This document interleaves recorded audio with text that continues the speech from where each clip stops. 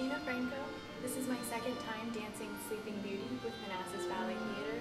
Last time I danced the role of Pink Fairy and White Cat, and this time I'll be dancing